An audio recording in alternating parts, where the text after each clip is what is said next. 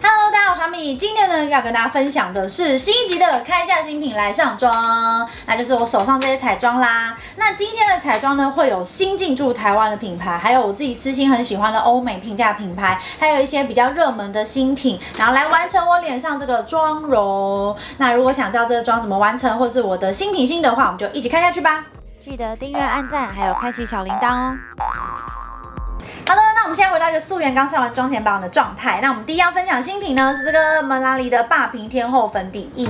那蒙拉里这个牌子呢，我在上一支开价新品影片中有介绍过，就是它是欧美品牌，但是今年才引进台湾，目前是只有在屈臣氏独家贩售。那这个牌子我自己本身之前在美国买过，我就蛮喜欢，是因为我觉得他们家的东西就是很多用起来其实是媲美专柜的质感，但是它的价格是定位在开价，所以算是性价比很高的一个品牌。那这个粉底液是他们新推出的产品，它叫做霸屏天后粉底液。我其实觉得它名字取得还蛮有记忆点的。然后为什么它叫做霸屏天后呢？它这瓶主打的诉求其实是两个，第一个就是它主打抗蓝光，因为它有添加了一些特别的抗蓝光技术，就是因为我们最近现代人就是常会滑手机，然后那个荧幕不是有蓝光嘛，所以它就是希望说用了之后它可以有你知道抗蓝光的这个效果。但我这个就是打一个问号，因为我自己也不知道到底是不是真的有抗蓝光。那第二个它主打特色是伪素颜，就它希望你上完之后可以看起来像是你知道睡醒的好皮肤的感觉，所以它其实是主打比较自然透亮，然后微光泽的那种妆感。那这瓶粉底总共有出六个颜色，我手上的是一四零，算是它第二白的颜色。可是其实我昨天用过之后，我发现它对我来说还是稍微偏白一点。不过我今天还是示范在脸上给大家参考，所以大家就不要看色号，主要看它的妆感。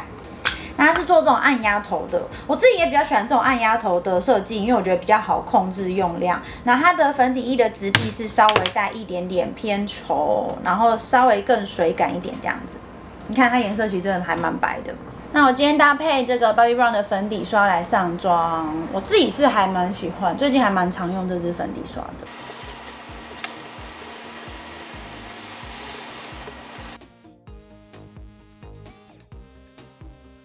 有没有？它上起来对我来说真的是有点偏白。这是我本来没上妆，然后上完妆，所以我可能要稍微再用深一个色号给大家参考。这样，再来就是它上起来的妆感，我觉得真的是蛮自然的，就是你会感觉它不是很厚重，然后用量也不用很多。但是当然相对缺点就是它的遮瑕力也偏弱，就是我的黑眼圈啊，或者是一些小痘痘这种的，就是没有办法完全遮得住。所以它就是还是要搭配一些遮瑕品。不过我觉得蛮适合那种喜欢日常淡妆的人，它上起来就是。真的很像伪素颜的感觉，但是是稍微有一层柔焦效果，就是让你的肤况变得比较好一点这样。那至于持久度的话呢，我昨天用下来，我觉得它没有什么明显的暗沉问题，然后持久度表现也还 OK。但是我觉得如果你会戴口罩，或者是如果你会出油的话，还是搭配蜜粉稍微定妆一下会比较好。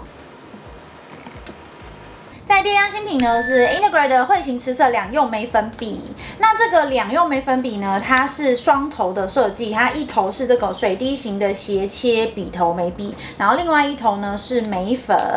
那其实他们家之前也有出过双头的眉笔，然后是液态眉笔加眉粉的组合，所以这支算是他们家第一支推出眉笔加眉粉的组合。我觉得这个组合是最实用的，就是一般如果你眉毛的话，其实有眉笔加眉粉就可以搞定了这样子。那这支眉笔第一个特色是它的笔头，它的眉笔头有做水滴状嘛？那那个水滴状的尖端的部分呢，它就可以去勾勒你的那个眉毛的毛流，就是画出那种比较细致的眉形。那水滴状比较宽的那个比较平面那一面呢，你就可以去填补你的眉毛空隙。那另外一端它这个眉粉设计呢，它其实主打就是持久，因为我觉得眉毛重要就是它持久，然后可以抗汗呐。然后这个眉粉它其实就是主打不会结块，所以你在画眉毛的时候就可以用这个眉笔去搭配这个眉粉。好，眉毛完成，眉毛画完，真的瞬间有种安全感。那我用的色号呢是六六零，它有出两个色号，那这个颜色是比较稍微带红棕色，但其实我觉得它没有很红，所以跟我的发色还算蛮搭的。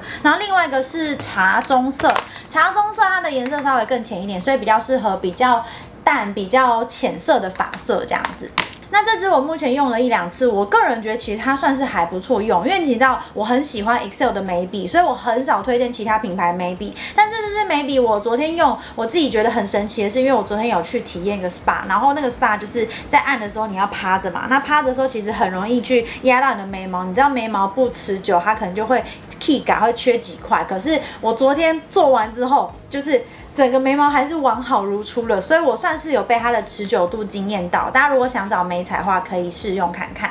好了，再来跟大家分享一个新进驻台湾的泰国彩妆品牌，叫做 Zen Z E N N。那老实讲，我对泰国彩妆其实没有太大的涉略，我只知道之前有分享过那个 Misting 的眼线液嘛，然后还有近期蛮红的四 U 二那个腮红，就是很像三 C E 的风格的。那这个品牌呢是十月才进驻台湾，一样是屈臣氏他们独家贩售，非常非常的新。然后我稍微做一下功课，发现它是泰国彩妆品牌 Tokyo Dolls 的副。牌，那它主打的风格呢，就跟我收到这个包裹一样，它是那种黑白，然后简约时尚的感觉，然后包装是有点稍微小文青感，可是它的价格是开价的价格，所以它在泰国其实非常受欢迎，也是很多代购的热门选项。然后我今天呢，就来试用这包裹里面几样比较热门的彩妆品相，给就是试在脸上给大家看。好了，那我们现在用这个 My Daily 双色眼影，这个眼影呢总共有六色，那我手上收到了三个颜色，然后先给大家看一下它的包装，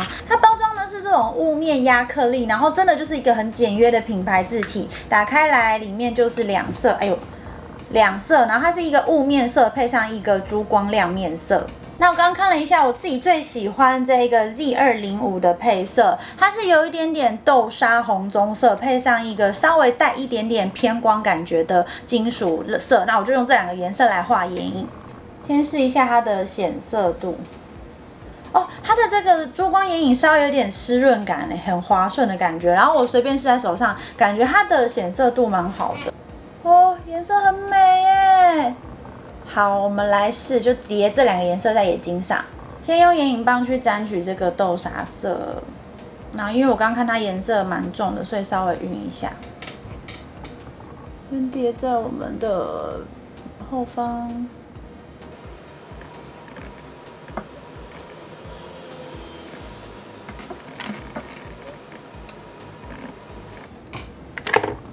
下眼皮也画一下。再来，我们用指腹去沾这个，叠在我们的眼皮上方。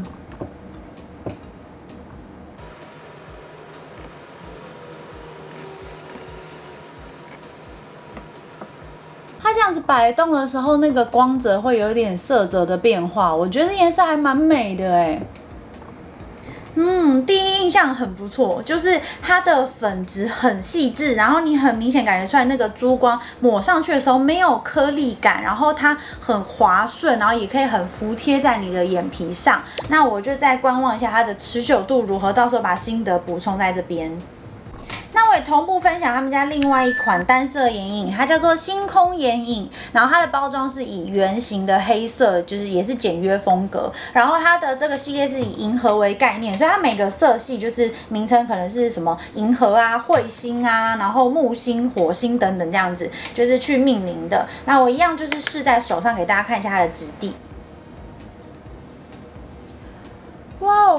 它的颜色真的有那种银河感呢，就是它的光泽感很漂亮、精致，然后也是没有粉感，它几乎是稍微带一点点湿润水感的那种感觉。好，因为我今天眼睛上已经画了眼影了，所以如果想看这个星空眼影的试色，就是画眼妆的话，可以在下面留言给我，然后我可能会在 IG 分享不一样的妆容给大家看。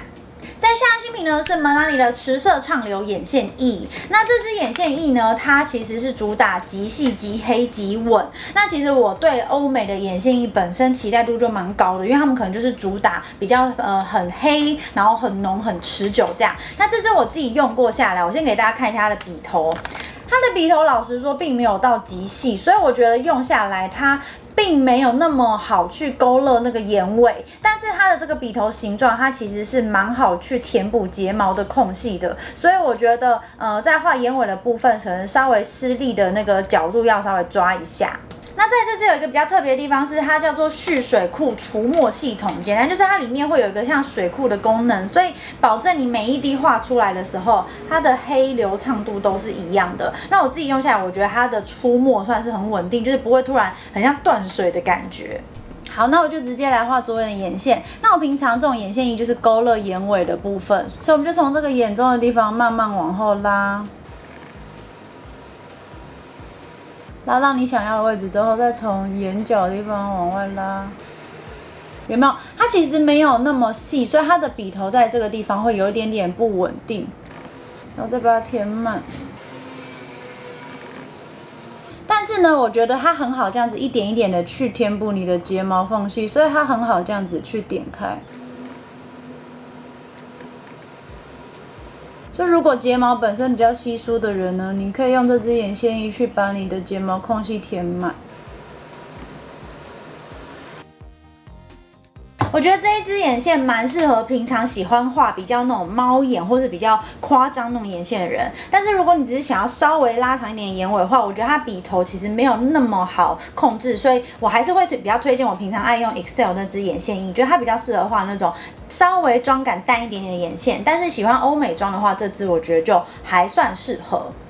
好，在下样新品呢，我们回到 Zen 这个品牌，我要分享这个星沙打亮饼。那这颗星沙打亮饼呢，我查了一下，它是一个代购的热门品相，就是也算他们家热门彩妆品相之一。然后它的包装也是跟双色眼影一样，是这种雾面的亚克力，打开来就是一个圆形的。那你看这颗的颜色，它是稍微比较偏向香槟金色，是我自己也蛮喜欢的打亮色系，所以我们就来试用看看。那我说摸一下粉质。他们家的这种珠光亮粉都是稍微带有一点点湿润感的，颜色感觉也是比较偏自然一点的那种打亮光泽。好，那我们就上在颧骨的地方。我现在的光泽是粉底液的那种微光泽，然后刷一层之后呢，